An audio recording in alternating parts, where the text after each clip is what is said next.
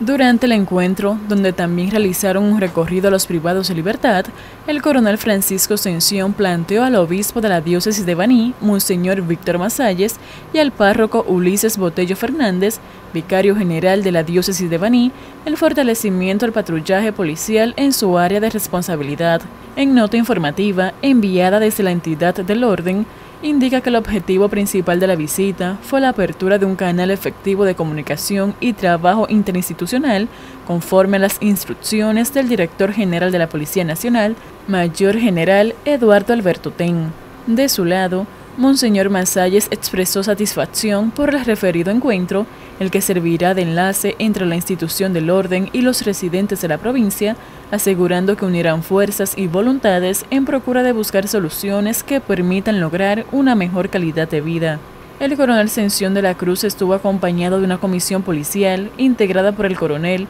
licenciado José Figuereo Peralta de la Policía Nacional, inspector regional sur central, los tenientes coroneles Junior Paredes Guerrero, subdirector regional de investigaciones criminales y demás oficiales que la componen.